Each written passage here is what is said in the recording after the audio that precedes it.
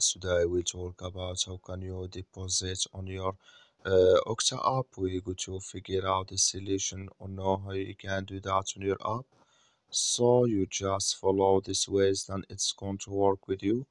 So all you have to do, so you just uh, go here, you go here above this sign, click on it here. So then it's going to show for you a list like this here. Then it's going to show for you like this here inverse then all you have to do now. So you just click here on deposit here. When you just click on it it's going to take you to this list. And here can you select way to add your payment methods here. So then it's going to show for you here your price you add on your uh, Octa app. So that's all you have to do to deposit on your app that's all. I wish you a great thank you for watching. Don't forget to support us by liking and subscribe.